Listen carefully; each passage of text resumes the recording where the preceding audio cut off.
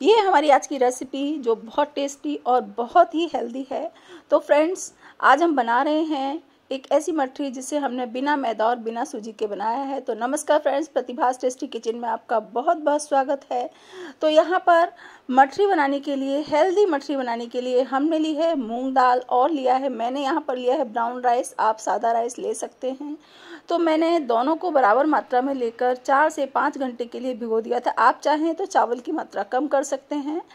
और उसके बाद में, भिगोने के बाद में हम इनको मिक्सी में डालकर ग्राइंड कर लेंगे। बहुत अच्छे से हमको ग्राइंड करना है। पर कोशिश ये करनी है कि हमें इसमें पानी नहीं डालना है। पल्स मोड पर आप पीसेंगे ना तो बिना पानी के बहुत आसानी से ही पीस जाता है।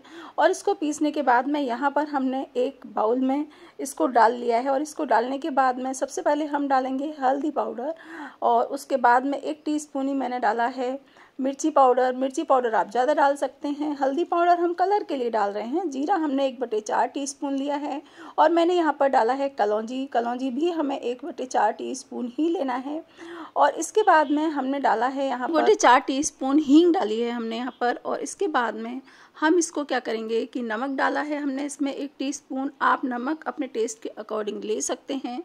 और इसके बाद में दोस्तों हमें इसको, इसमें डालना है आटा, जो गेहूँ का आटा हमारे घरों में प्रयोग होता है ना वही आटा हमें इसमें डालना है और हम इसमें आटे को ना धीरे धीरे डालेंगे। इसलिए धीरे धीरे डालेंगे कि हमें इसमें पानी नहीं डालना है। हम केवल इसमें उतना ही आटा डालेंगे जितने आटे में, जितना कि हमारा ये जो बैटर है ना, वो तैयार हो जाए मठरी के लिए, जैसा कि हम पूड़ी से भी, पूड़ी जैसा सख्त आटा गूंदते हैं ना, वैसा ही। और इसके बाद में यहाँ पर हम मोहन के लिए डालेंगे एक टेबल स्पून ऑयल और इसको उससे डालने से क्या होगा ना कि हमारी जो मठरी है वो एकदम क्रिस्पी बनेगी। हम यहाँ पर कसूरी मेथी मेथी भी हमने डाली है और इनको डालकर हम इसको अच्छी तरह से नीट करेंगे, अच्छी तरह से हम इसको गूनेंगे। दोस्तों, क्या होता है ना कि हमें रोज़ सुबह हम उठकर चाय पीते हैं खाली चाय कभी नहीं पीनी चाहिए। तो चाय के साथ में हमें रोज़ मैदे वाला हम या तो बिस्किट खाते हैं या हम टोस्ट खाते हैं तो उससे बेटर है कि हम कुछ ऐसा खाएँ जो हेल्दी हो। ये सजेशन भी ना मुझे मेरे डॉक्टर ने दिया था, उन्होंने बोला था कि सुबह उठकर आप मैदे की जगह अगर घर की बनी हुई या आटे का बना हुआ कोई चीज़ खाएँगे ना तो वो ज़्यादा हेल्दी होता है और हमारी हमारी हेल्थ के लिए वो सही रहता है, क्योंकि रोज़ रोज़ मैदा खाने से ना गड़बड़ हो जाता है। तो यहाँ पर हमने इसको गूंद लिया है। गूंदने के बाद में मैंने यहाँ पर लगभग एक टेबल स्पून पानी डाला है और पानी डालकर हमने आटे को तैयार कर दिया है। आटे को हम ढक कर रख देंगे 20 से 25 मिनट के लिए। तो देखिए 20 मिनट हो चुके हैं, हमने अपने आटे को लिया और थोड़ा सा हम इसको नीट करेंगे और नीट करने के बाद में इस तरह से हमने इसको तैयार कर लिया देखिए और इसके बाद में हम इसके दो पोर्शन में इसको डिवाइड कर लेंगे, दो भाग में डिवाइड कर लेंगे ताकि हमें बेलने में आसानी रहे। तो ये देखिए इस तरह से हमने इसकी लोई दो तैयार कर ली है। तो यहाँ पर हमारी दोनों लोइयों को हमने तैयार कर लिया है और अब हम चलते हैं चकले की तरफ़। चकले में हमें सबसे पहले चकले को ग्रीस करना है थोड़ा सा इस तरह से और इसके बाद में हम इसको बेल लेंगे।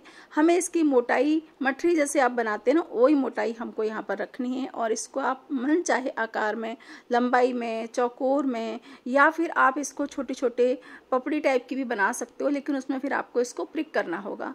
और इस तरह से हमने इन्हें लंबाई में काटा है। क्या होता है ना, हम कई बार काम काजी होते हैं, हमारे पास टाइम नहीं होता तो ये तरीका सबसे आसान होता है। फिर यहाँ पर मैंने तेल को गर्म कर लिया है। गर्म करके हम इसमें मठरी को डाल देंगे। ये हमने इसमें डाल दी है। बीच बीच में हम इनको उलटते पलटते रहेंगे और इसके बाद में ये देखिए, हमारी मठरी तल रही है और तलने के बाद में ये देखिए, कितनी अच्छे से कलर आया है और कितनी बढ़िया हमारी तल गई हैं। धीमी आँच पर हमें इनको तलना है। तेज आँच करेंगे तो ये जल जाएगी, क्रिस्पी नहीं हो पाएगी। ये देखिए, आप देख सकते कितनी अच्छी सी बनी है। ये बहुत अच्छा सा स्नैक्स होता है क्योंकि बहुत हेल्दी होता है। आप इसको सॉस के साथ भी खा सकते हैं, चटनी के साथ भी, चाय के साथ भी खा सकते हैं। तो दोस्तों, आप इस रेसिपी को ट्राई कीजिए और यदि आपको मेरी कोशिश पसंद आती है तो प्लीज़ प्लीज़ लाइक ज़रूर कीजिए शेयर और सब्सक्राइब भी कीजिएगा। Thank you